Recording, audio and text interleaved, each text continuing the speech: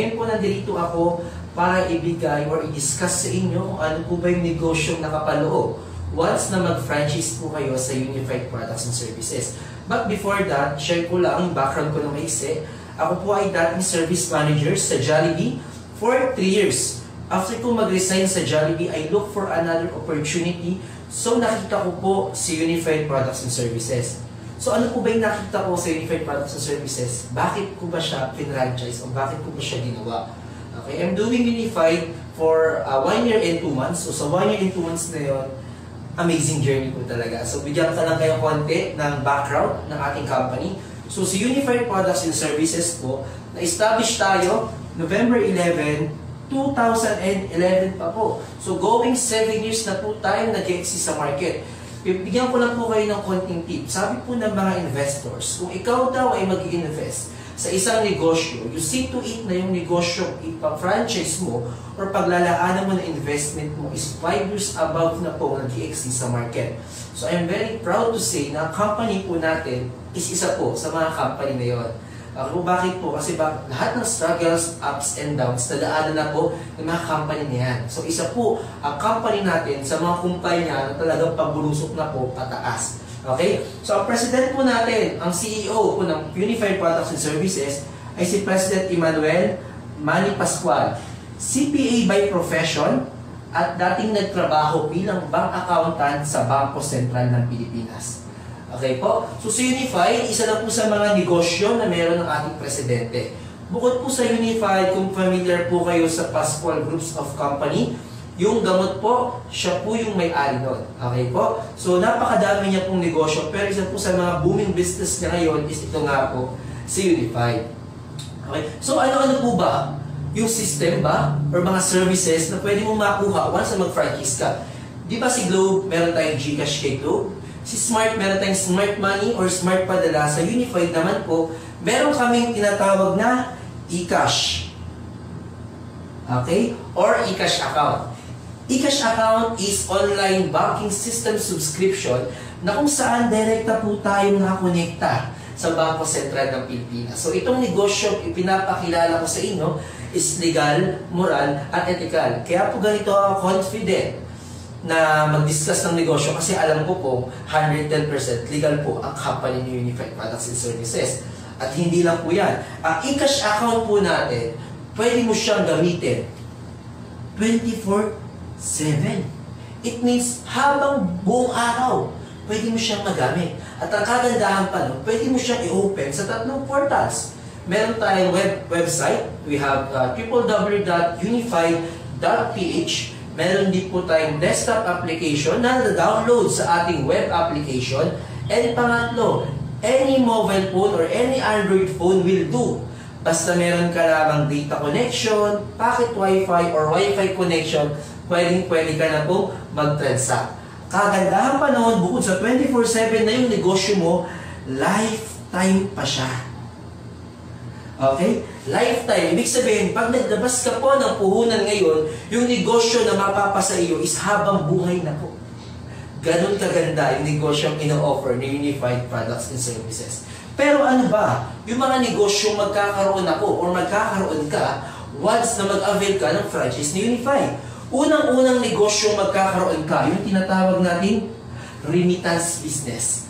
Remittance business is one of the booming business ngayon sa market. Kasi kung mapapansin po ninyo, sa Cebuana, M. Lulier, Palawan, even LBC, na dating mga pawn shop at courier lamang, ngayon ay nag-convert na sila into remittance center. Kasi bakit po? Remittance business is responsibility. I mean, remittance is responsibility ng mga kababayan OFW na magpadala po sa atin, sa mga mahal nila sa buhay. Kaya na lang po, gano'n na lamang kaliwat kanan ang pagdami po ng mga remittance center sa labas. At ang good news po niyan, once na mag-franchise ka, isa po ito sa mga negosyo magkakaroon ka. Sa local po, partner natin, okay, Cebuana Lulier. Meron kang smart money or smart padala, isa lang yon. Meron kang Globe, Gcash at higit sa lahat, meron kang Western Union money transfer. Imagine mo, apat na malalaking kumpanya na pagsama-sama sa isang sistema using one system. Ganyan po ka-powerful si eCash. Okay? Di ba sa labas, kapag Cebuana, Cebuana mo lang din pwedeng i-claim yung pinadala mo. Kapag smart money, smart money lang din. Pero dahil naka-e-cash ka, pwede mo siyang i-send sa Cebuana. Pwede mo siyang i-send sa Western, pwede mo siyang i-send sa Smart Money at sa mga partners pa nating remittance. And at the same time, pwedeng vice versa. Padala kay Cebuana, i-claim sa e-cash. Padala kay Western, i-claim sa e-cash. Pwedeng pwede po yan. Okay? Hindi lang po tayo pang local. We have international partners din.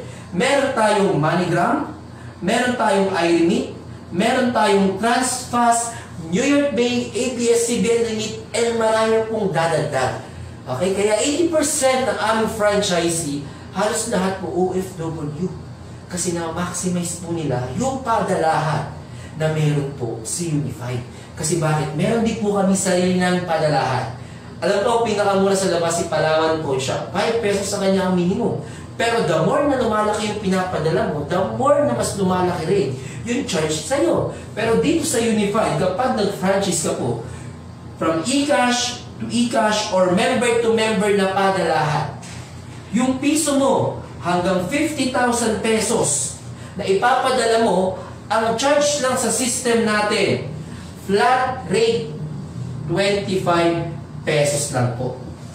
Kaya sabi ko nga kanina, halos lahat ng franchisee namin, karamihan OFW dahil po sa padalahan na to. Okay? Pangalawang negosyo magkakaroon ka, Bills Payment Facility or Bayad Center Facility. Okay? Pangalawang negosyo mo pa lang yan. Sa bills payment po, kung makapansin mo, kaliwat kanan lang din ang pagdami o pagsulpot ng mga bayad center dyan. Okay po, maraming naglipa ng bayad center ngayon. Pero si Unified, grabe po rito kasi bakit po? Sa bills payment natin, this one is mandatory. Okay? Pag sinabing mandatory, wala kang choice eh. Magbabayad at magbabayad ka ng bill mo. Tama? At ang good news niyan, 100 plus billers ang partner natin nationwide at padagdag ng padagdag pa. Example na lang natin si Maynilad, si Manila Water, si Meralco. Meron din po tayong signal, mga internet subscribers or subscription. Even cellphone mo na nakaplan kay Globe or Smart, pwede mo rin i-pay dito sa system natin. Mga tuitions ng schools, Lasal, Ateneo, Miriam, mga memorial plan, mga real estate po, even, even NSO po, yung um, birth, certificate, death certificate, marriage certificate, and Senomar certificate. Ordering po, nagpa-process kami noon, or nagpa-process tayo noon, door-to-door delivery po yon. Okay po, ganun po maganda yung bills payment natin. Okay, pangatlong negosyo magkakaroon ka, airline ticketing or travel and tours business. Grabe itong negosyo na to. Itong negosyo na to, ito yung isa sa pinaka gusto kong negosyo. Kasi bakit? Lifestyle po ito eh. Okay? Kasi likas sa ating mga Pilipino na makakatiyang pa. Tama nga, travel goals na, ika nga, lalo na yung malapit ng December. Ngayon, mas malakas malakas ang booking natin pag summer na. Kasi summer goals na eh. Tama po ano? So, airline ticketing, papaano po ba ito? Nung pumasok po ako last year, 2017, ang partners lang naming airlines is 216. Pumalo po yung August 2017, naging 306 airlines na po ang partners namin. Take note, worldwide po ito. Ngayong pumasok ang June 2018, naging 400 airlines na po kami. Buong mundo po, meron kami hawak-hawak na aeroplano. Ganyan po ka-powerful si Unified Products and Services. And take note, padagdag ng padagdag ng padagdag yung partners namin mga airlines, padami ng padami yung mga tie-up partners natin na mga services, pero isang beses ka lang magbabagsak ng puhunan mo. Ganda, di ba? One-time payment, pero napakarami or unlimited source of income ang pwede mong makuha sa Unified Products and Services. So, paano ba tayo kikita sa ticketing? Ganito po yan Through markup po kasi ang kitaan nito. Okay? Pag, kapag may nagpabook sa inyo ng local, pwede kang mag-markup ng 150 hanggang 500 pesos per way, per head, depende po sa inyo. Nalalaro po kasi yung markup natin. Okay? International, 750 to 1,000 pesos per way, per head, depende din sa inyo. For example, ikaw na nanonood, magpapabook ka sa akin Okay? Sabihin na lang natin, ang charge ko sa iyo is 500 pesos. Tama? 500 pesos, one way pa lang yan. Pupunta ka ng Boracay. Tama? Since babalik ka pa rito sa kung saan ka man nakatira, i-times 2 natin. So kumita na ako sa iyo ng 1,000 pesos. And take note, 4 minutes lang po ako nag-book ng ticket. Bakit 4 minutes lang, Robert? 4 minutes lang kasi yung allowable time sa system para po tayo ay mag-book.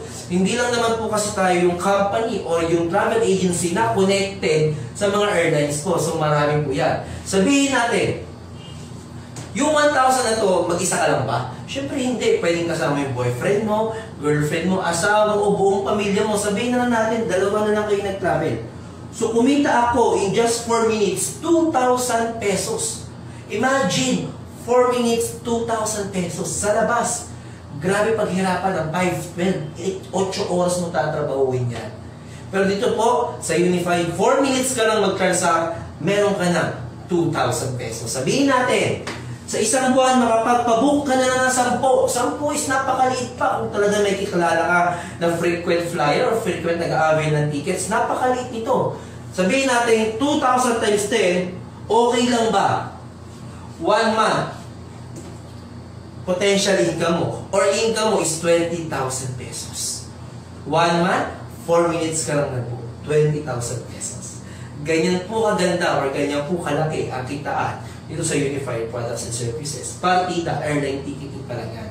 International po natin, same process lang. Ang kaibahan, hindi ka pwede mag-book ng one way, dapat talaga round trip yan.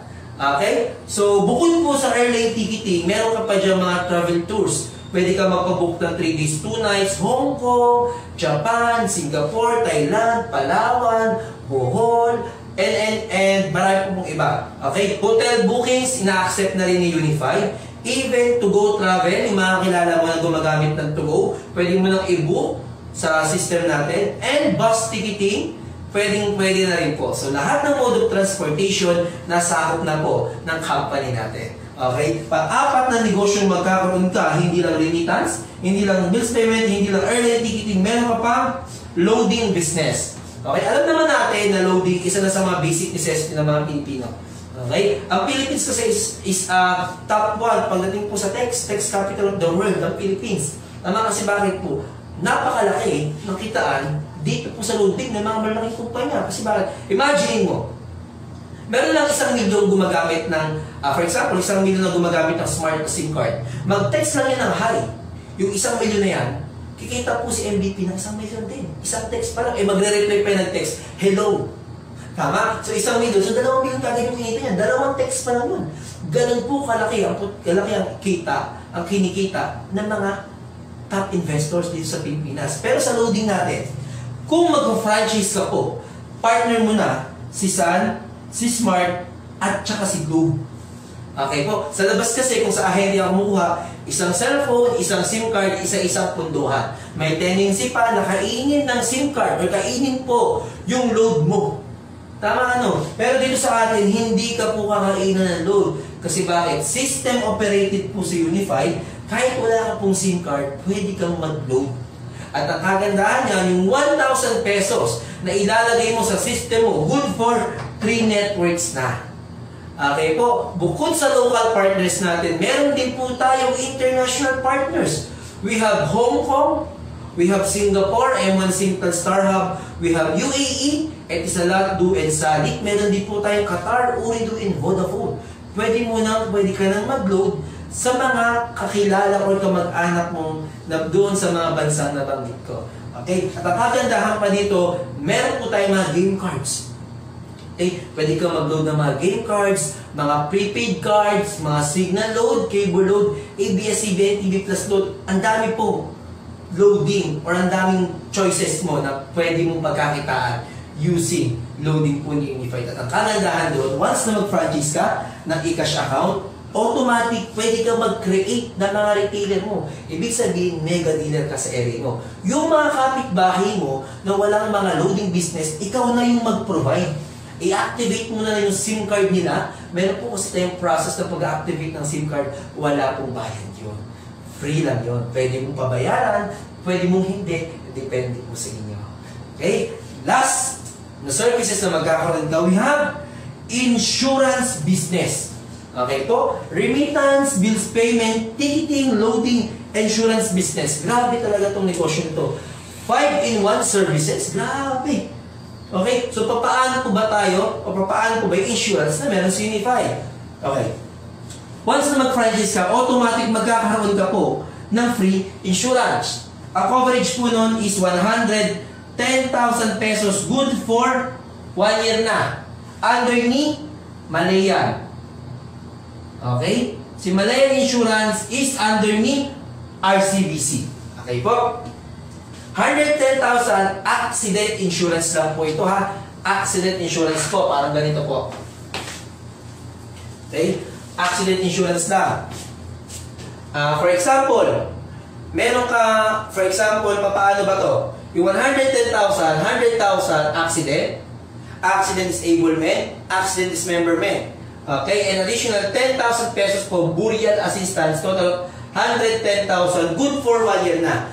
Pero pwede mo rin siyang pagkakitaan. Dito po ako malaki kumita sa insurance. Pakita ko po sa inyo. Pwede mo kasi siyang ibenta ng 300, ng 500, up to 1,000 pesos, depende sa iyo. Paano ba yan, Robert? Paano ba kumita yan? Kapag binenta mo ng 300, 500, 1,000, ito yung kikitain mo kasi bakit? Ang puhunan lang sa insurance business na meron sa Unify ay 75 pesos per policy. Okay? Itong 75 pesos na to, good for 1 year na siya. Malinaw? Okay, parang ganito. Kapag binenta mo ng 300, meron kang 225. Kapag binenta mo po ng 500, meron kang 425. Kapag binenta mo ng 1,000, meron kang 925. Ganito po yung kitaan dyan. Meron ka kakilala mga toda, mga co mga nagli-lending, or group of people na pwede mong alukan ng insurance natin. Malamang meron ka, bigyan kita ng tip, pumunta ka ng toda. Sa toda po, hindi ko lahat kakausapin mo, yung sa pinaka-presidente ka lang. Sabi mo, pres, meron po akong inaalok na insurance, 300 pesos. Okay? Kapag nakabenta ka, meron kang 50 pesos commission mo. So, i-less natin yung 75 na puhunan. So, meron kang 225. Less 50 na ibibigay mo sa presidente ng TODA kapag may naibenta siya. So, meron kang 175. Eh, ang TODA, hindi lang naman 10 ang miyembro niyan. Marami po yan. Sabihin na lang natin, ang presidente po ay nakabenta 10 isang araw na lang. Kumita po yung presidente ng TODA ng 500 piso masaya siya kasi kumita siya dagdag to. Hindi niya alam, mas masaya ka. Kasi bakit? Kumita ka po ng 1,750 pesos. Ang good news, wala ka namang ginawa. Inahente mo yung presidente ng TONA. Nakuha ka ng tip, pwede mong gawin yan. Pwede ka rin mag-hire ng mga ahente mo. Depende po sa'yo. Okay? Actually, marami pong mga marketing strategy na pwede kaming i-share dito sa negosyo na to para mas kumita ka pa. Okay po? And lastly pala, meron pa tayo pang huli, tinatawag natin online shop.